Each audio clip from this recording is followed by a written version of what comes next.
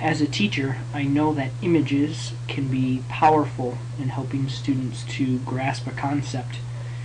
Finding the right image can be a chore at some times, so I use Google Image Search to find the images that I need for my lecture presentations, worksheets, or other student assignments.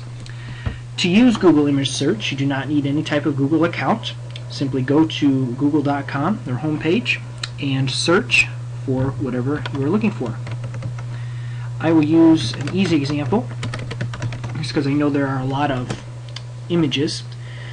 This is the main search screen. You can see a few image results at the top, and then your normal web page text results below that.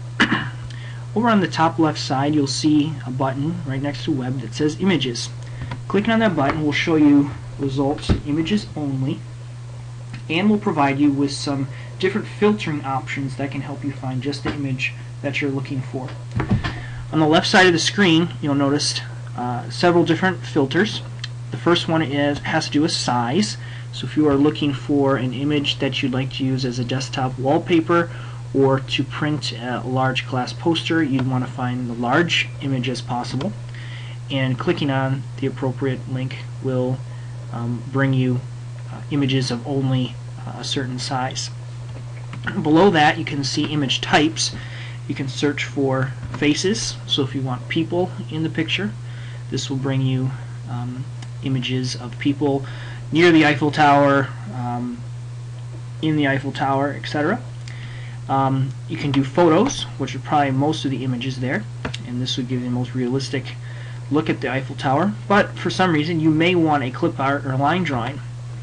And filtering with those options will show you images um, that are just clip art or um, line drawings, which could be um, interesting. Uh, much simpler graphics can convey the meaning without um, having all the background distractions.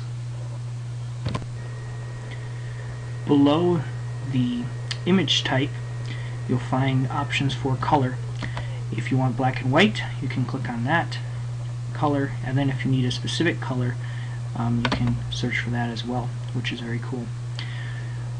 Not going to find much for line drawing um, in blue color, but if I go to uh, photo, I'll see images that are predominantly blue, which is kind of neat. So uh, these search filters are stackable so I can search for large images that are photos and yellow or small images that are line drawings and gray and it will combine those search images together. Clicking on the bottom will reset to the default where I'll see all of the images. A lot of people are familiar with these options and use them, but there are even some uh, uh, more options that some people don't know about. To get to them, you need to go up right below the search box and click on Advanced Search. This will bring up a series of um, options, some of which we've just explored, but we have some uh, greater detail that we can put in. For example, I can specify the specific width and height of an image, and that's really nice if you need to put an image into a, a, a blog header or something with a very specific image size. You can also click on this button to use your desktop size, and that will help you find wallpaper that's specifically sized for your desktop. Aspect ratio will determine um, if you want uh, widescreen or square. Um, you can also look for specific file types if you want a JPEG or a GIF. And this search option at the bottom is arguably one of the most important for educators. You can ask to view only images that are labeled for reuse and modification. This is a Creative Commons filtering and if you use that, so labeled for use or modification, any of the images that show up um, will be acceptable for reuse. This is great for student projects as well as for um, teacher use. So all of these images are labeled as Creative Commons for use, uh, reuse, and modification.